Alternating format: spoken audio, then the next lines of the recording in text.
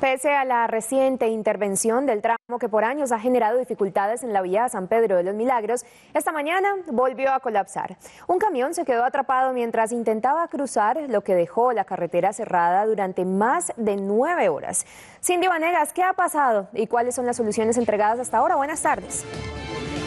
Catalina, televidentes, muy buenas tardes. A pesar de que hace 20 días se aplicó una capa asfáltica en esta vía, el problema aún no se soluciona. La obstrucción de la movilidad se ha convertido en paisaje para quienes transitan por este sector.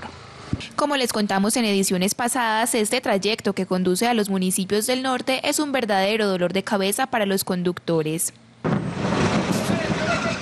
Un bache en la vía en la que hasta los más grandes se quedan atascados.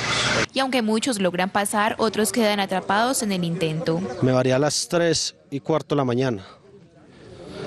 siempre estaba mojada la carretera y ya me la estaba coronando cuando sentí un golpeteo atrás y ya se quedó, se quedó neutro el carro. Tan frecuentes son estos incidentes como la inconformidad de quienes se retrasan para llegar a su destino. Llevo tres años trabajando por acá y ya es la quinta vez que me toca quedarme por aquí mucho rato. Eso es cada digo que nos toca voltar los pasajeros por, por esta problemática que hay.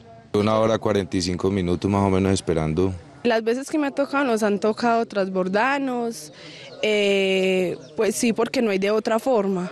Moto, imposible. Carro, imposible.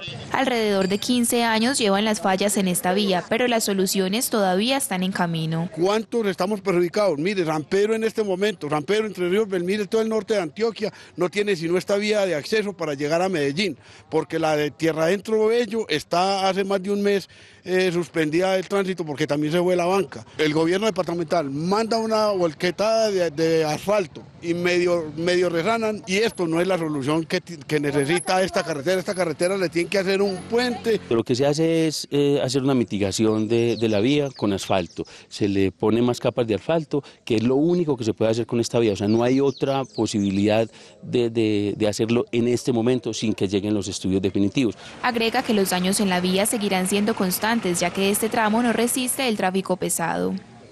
Secretaría de Infraestructura asegura que están a la espera de los estudios que llegarán en noviembre para dar solución definitiva a esta problemática. Cindy Vanegas Holguín, Hora 13 Noticias, cubrimiento total. Cindy, gracias. Buen punto, el de uno de los afectados. Se necesitan vías alternas que comuniquen a San Pedro con Medellín.